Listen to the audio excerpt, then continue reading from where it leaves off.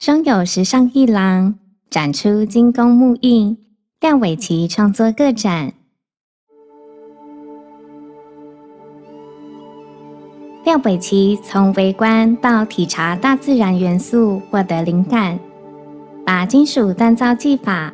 当作修炼手与心的工具。锻敲将金属媒材从平面中解放，变制成立体蜿蜒的曲线，留下缜密千万段锤痕与百炼的彩丽火泽。锻造出的金属雕塑有着类绘画的造型。他将创作时的身体劳作和介入视为形而下的展现，与形而上的心灵感受和精神思维相辅相成，诉诸其充满诗意之创作中，实现美学思维的新境界。